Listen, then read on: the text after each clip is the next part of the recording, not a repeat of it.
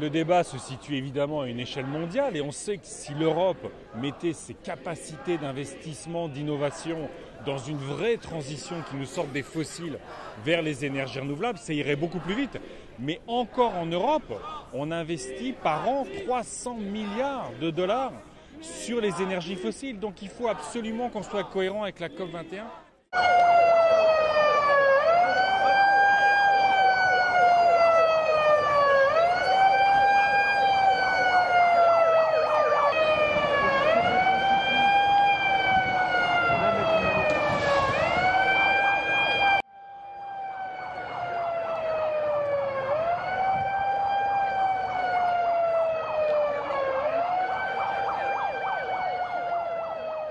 Bonjour à tout le monde. Nous sommes ici pour dénoncer le caractère absolument inacceptable au lendemain de la COP21 et à la veille de la cérémonie officielle de signature de l'accord de Paris à New York en présence de chefs d'État du monde entier, le caractère complètement inacceptable de tenir un sommet du pétrole offshore ici à Paris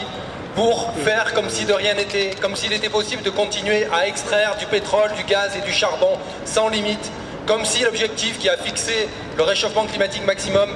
bien en dessous de 2 degrés, voire même en deçà d'un degré et demi, n'existait pas, comme si les engagements qui ont été pris à la COP 21 ne valaient rien. Et nous sommes ici pour dire non, ce n'est pas possible. Au lendemain de la COP 21, au lendemain de tous les engagements qui ont été pris en matière de réchauffement climatique, il n'est pas possible de continuer à faire comme si de rien n'était, à extraire toujours plus de pétrole, plus de charbon, plus de gaz, toujours plus loin, toujours plus profond. Nous avons pris, nous, un engagement lors de la COP 21. Cet engagement, c'est de dire que non, nous ne laisserons pas faire. Nous ne laisserons pas les pétroliers, les gaziers et charbonniers continuer à extraire comme si de rien n'était. Et partout où ils seront pour discuter de comment ils vont maintenir leur exploitation malgré la baisse du prix du pétrole,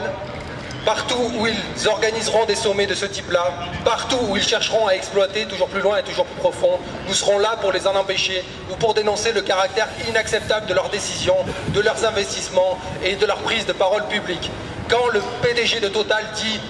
qu'il y aura toujours un maximum, une majorité de pétrole, de gaz et de charbon dans le mix énergétique mondial d'ici 2030 ou 2050, il s'assoit sur l'objectif des 2 degrés et de fait, il planifie des crimes climatiques futurs que nous sommes en train de symboliser ici en étant étendus devant ce sommet du pétrole international.